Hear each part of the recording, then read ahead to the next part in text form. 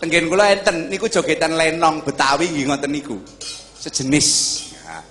Jebulane ditarik garis benang merah. Warna pesisiran itu mulai dari Banten sampai dengan Madura. Mampire nanggon Banyuwangi, nyabrange tekan nek Bali wis mulai kewengku nanggon patron-patron. Nek Banyuwangi jan plek kaya anu, kaya lenong. Sa nek mriku kan biola, nek tem mriku nganggene rebab Cina niku lho. Nah. Sandangane ya meh padha. Jebulane nuansa pesisir. Lah, luwi cetha meneh jebulane nuansa pesisir kuwi tepak tangtume para wali lan sak piturute kelebu para tabi'i tabi'in. Ngono. Kenang apa kok Abah Sarip nganggo kesenian? Yo, Cak, bikin diskusi sawetara, Cak. Pripun Mas Petro? Ah, ah. niki kula sekedap malih badhe dados utusanipun Senawangi. Senawangi niku sekretaris pewayangan nasional Indonesia lan Persatuan Pedalangan Indonesia. Ajeng ngadep dateng Presiden SBY Tentang tentang perlunya kembali ke sebuah basic to culture yaitu kembali ke kebudayaan. ya.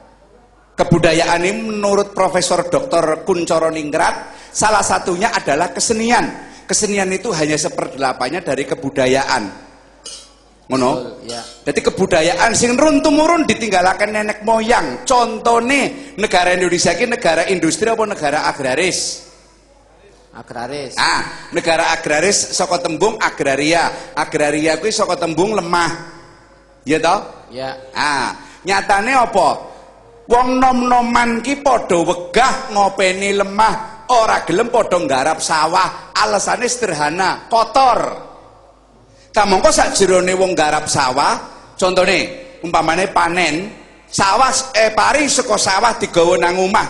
Nang omah ki nduduti damine pari kae, nang kono ana infrastruktur sing terbentuk tangga teparo melunge wangi. Sawise ngawangi ora upah duit ning upahe beras. Jenengan alit ngalami ngoten mboten Budelani? Nggih. Nggih. Heeh. Lah sakjerone kaya ngono kuwi aja didelok materine, aja didelok gedene upah, ning didelok sambung rasa tubinantu daya dinayan. Bareng-barenge wangi gotong royong. Lah semangat sing kaya ngoten niku saniki pun ilang, Cak. Oh nggih. Hampir tidak ada pedulinya. Wong numpak motor weruh ana wong tabrakan, wis ditinggal lunga wae. Wong nonton bencana ning TVRI, ora ning televisi, kuwi ya anteng. Saya meneh saiki patroli menayangkan keganasan-keganasan, kekerasan-kekerasan. Wah, jan ndadekake wong ki padha ana sing wedi, ana sing jiwane terganggu. Nanging piye maneh wong tayangan kaya ngono tayangan sing paling unggul ya Mas ya di dalam TV ya angel meneh wis. Menurut Lah. sampean piye, Cak? Lah saat ini permasalahannya kan sudah jelas. Negara kita adalah ne- negara agraris. Agraria adalah negara tanah. Kenapa kok nom-noman ora gelem garap tanahnya dengan alasan yang cukup sampel saja, kotor. Ah, sekarang orang mau dibicarakan, tapi bagaimana kita mencontohi? Panjenengan sudah menyampaikan itu alasannya sederhana, sudah ngerti asal alasannya kotor. Nah. Padahal kalau digarap itu lebih baik. Nah, sekarang panjenengan bisa nyontoni, mbok leren lek dalang, saiki pengen dadi petani wae coba. Oh, iya. Silakan silakan da- silakan datang ke rumah saya. Oh iya. Ah, kalau Pak Entus itu tidak ndalang kita kono Hatmanto. Apa aku ora ngopeni sawah? Santri-santriku nang omah kuwi nek ora ndalang, nek ora nanggon bangunan tak geburke nanggon salah sawah. Eh, sing sawah matun, derep lan sak patunggalane Berat. sing sing nanggon apa? Sing nggon tebu ya ana sing klobot dan sebagainya. Aku ora mau sekedar ngomong, Mas. Berarti sampean juga sudah ikut melakukan di dalamnya. Sudah. Eh, patut diatung acungi jempol. Ora Ma- usah. markaban? Ah, kaya kowe ya ngono. Dadi tanah ku ya perlu digarap. Ah, aja ngantek kowe ngantek digarap tanah. Uripmu wis kaya do ngomong perkara tanahku sing dhisik pisan tani ngantek saiki. Aku ijo ingon ngono wedhus. Jadi ketua kelompok peternak nganti saiki pernah dikirim lunga ning negara Thailand kuwi yo perkara juara peternakan tingkat nasional. Lah iya. Jadi kabar sing tak krungu kowe ngingu wedhus wedok-wedok padha meteng kabeh. Ya. Nggih, leres Mas Petro. Jak, jak. Monggo. Ki meneng wae ben ora krungu marhaban ya. Piye piye? Marhaban ki tau wedhuse iki arep lairan dhewekne gelisah. Lah piye kok gelisah? Jroning ati iki mengko ana wedhus lair awak wedhus ndas wong. Apa iya? Mbosok ditunggone nganti tekan jebrole jabang wedhus, Iya. jebrol jebulane wedhus wutuh. Heeh. Wah, Dewi, wah, selamat aku. Marhaban lunga. Ah. Nembe 10 tindak, bayine wedhus bengok. Piye? Bapak. Dadi bapak iki tetep bapak. Wis tak lakoni kabeh.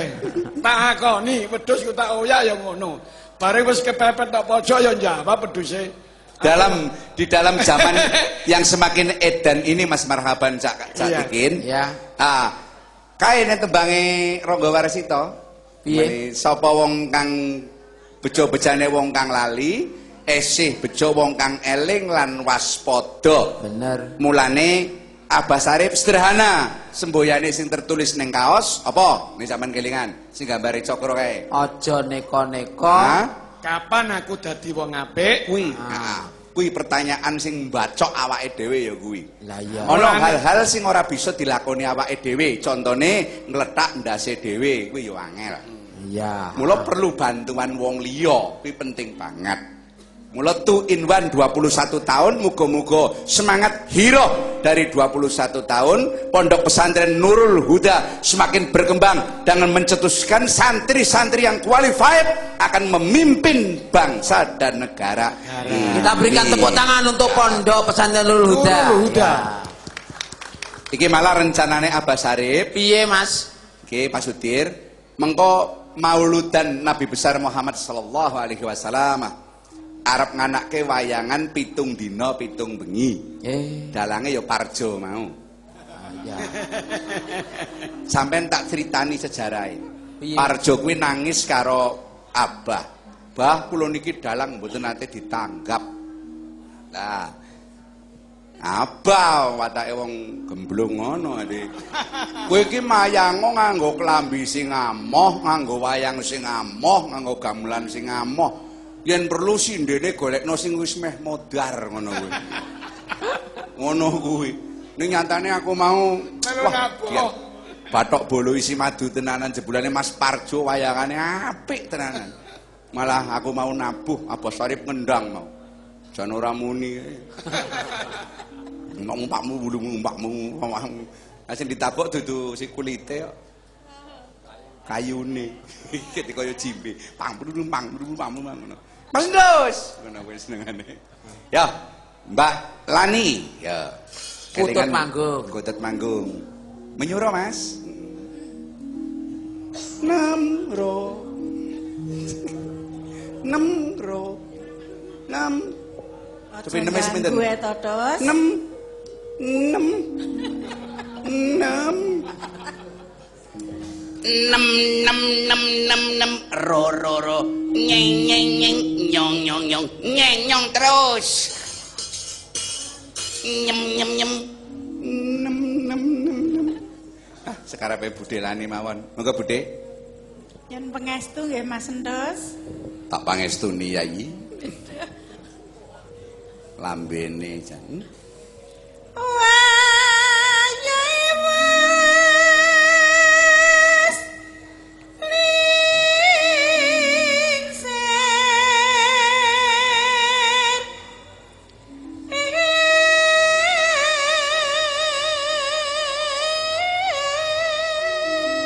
Sepatus mangke waradin eh, ngiwa nggih sepatus sinden supaya mengo kabeh